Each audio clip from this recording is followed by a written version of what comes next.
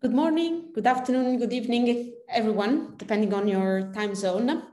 I am Anita Zanella. I'm currently a researcher in uh, INAF in Italy, and I'm very glad to discuss with you about the contribution of high redshift uh, star-forming clumps to bulge formation.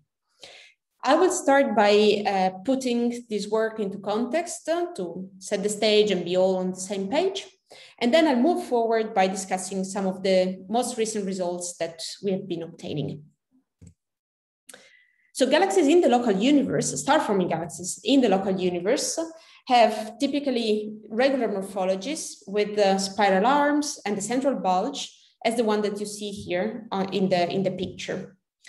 They also have a relatively low gas fraction between 5 and 10%, and they form most of their stars into giant molecular clouds that give rise uh, to young massive clusters and all the star clusters that we see in local Milky Way-like galaxies. However, if we look at star-forming galaxies at high redshift, let's say around redshift 2, where the peak of the cosmic star formation rate density is, the picture is quite different.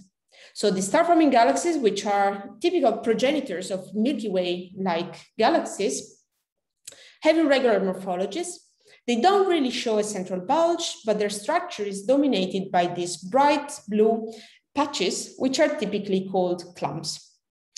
So in the following, I will discuss uh, these star-forming regions, which are called clumps, and their possible impact into the evolution of the galaxy, and in particular for bulge formation. So the question is, how do we go from the irregular morphology that we observe as redshift 2 to the regular morphology that we observe in the local universe? and how bulges are formed in this structural evolution of the host galaxy. So clumps are UV bright star forming regions that are indicated in this uh, picture with the, uh, with the circles. They seem to have stellar masses between 10 to the 7 and 10 to the 9 solar masses and sizes, of about 1 kiloparsec or less. The sizes that we measure are typical, uh, typically are upper limits as the clumps are unresolved even with the Hubble Space Telescope. And we will need the next generation of telescopes like the JWST or even better the ELT to be able to start resolving clumps and actually determine their size.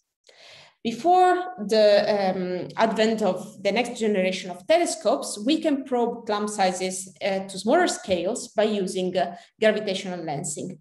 And this has been done in a few cases. So it seems that clumps might have substructures. They might have a bit smaller uh, stellar masses between 10 to the 6 and 10 to the 8 solar masses and sizes of hundreds of parsec.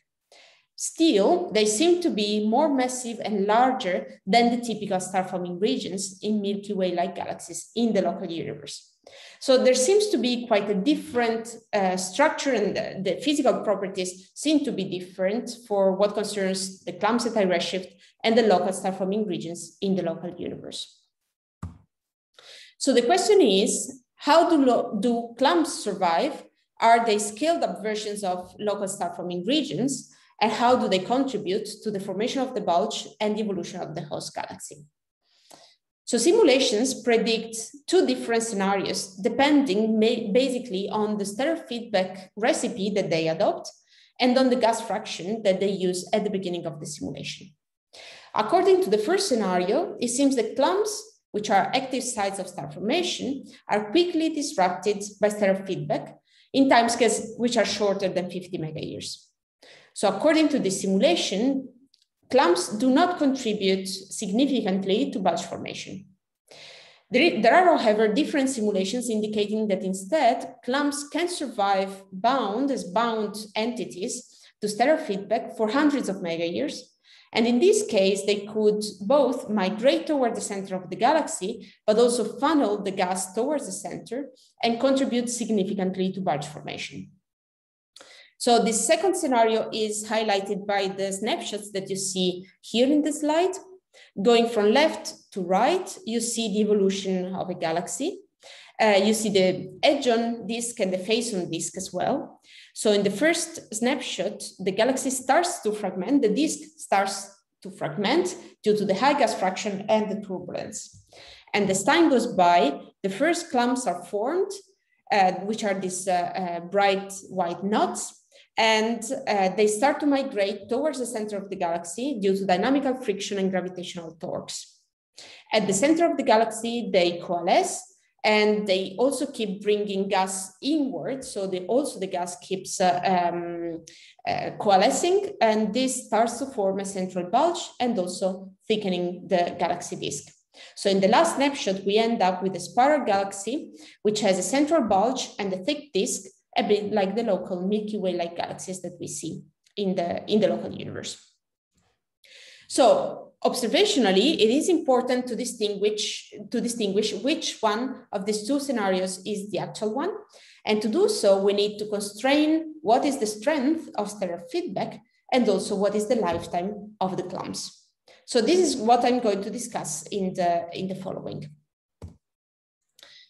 Trying to answer these questions, we gathered a sample of about 50 galaxies at redshift between one and three, which have been observed with the, uh, the, with the HST, both in the imaging, so we have rest frame optical and UV um, images, and also we have spatially resolved emission line maps, in particular O3, H alpha, and O2 emission line maps.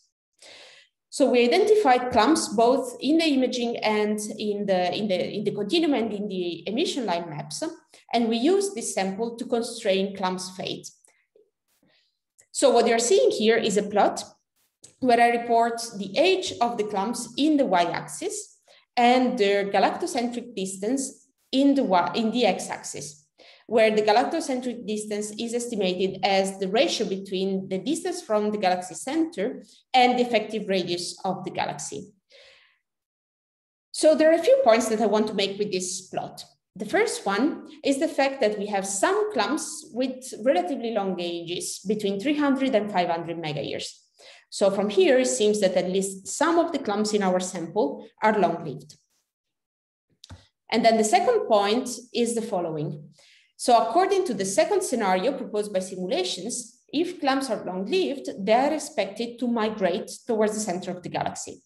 So in this case, we expect older clumps to be found preferentially in the center of the galaxy.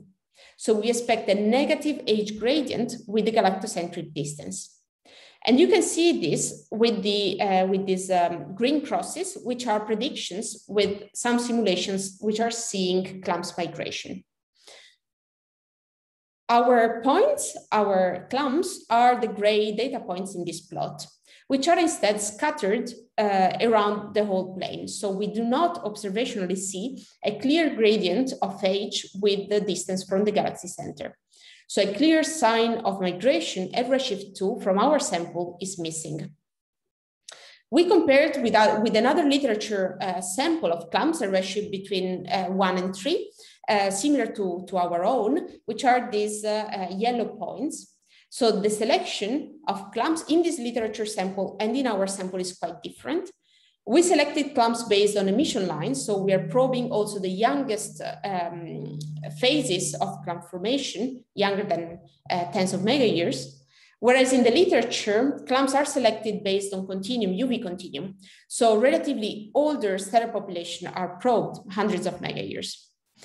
Despite this different selection, it seems that uh, both in our sample and in the literature sample, at redshift 2, there is no clump migration, which is evident. You can also see it here on the right-hand side, where this uh, literature sample is reported on average with, this, uh, um, with these black dots.